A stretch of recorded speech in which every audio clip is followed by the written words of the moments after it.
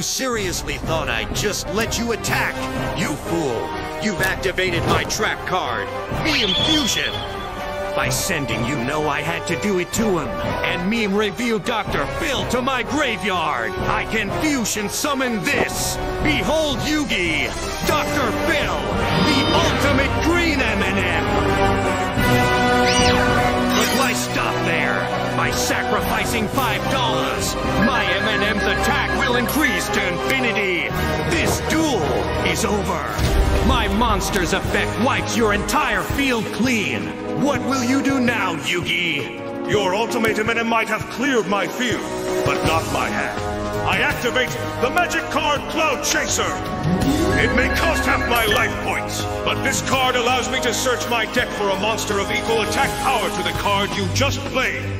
Impossible! But you have no monsters left to sacrifice! Correct you are, Kaiba. However, Cloud Chaser allows me to summon this monster with zero tributes. Come forth, Sus Magician! The unfortunate side effect of chasing this much clout is that I must now neglect my battle phase. I'll place this card face down and end my turn. I draw! Dr. Phil! Attack Yugi Sus Magician! You've activated my trap. Magical crewmates! Now your ultimate M&M can't tell which crewmate is the imposter. Choose wisely, Kaiba. Among Us!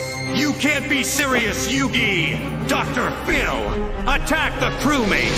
To the left!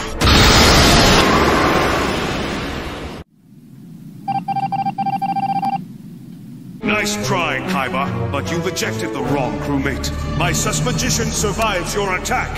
For now. It's your move, Yugi. Very well, Kaiba. I draw.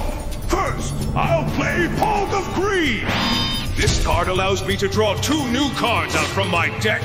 Now I play the magic card, Emergency Meeting. This card allows me to summon one more crewmate to my field, and the crewmate I choose will be Magician Girl!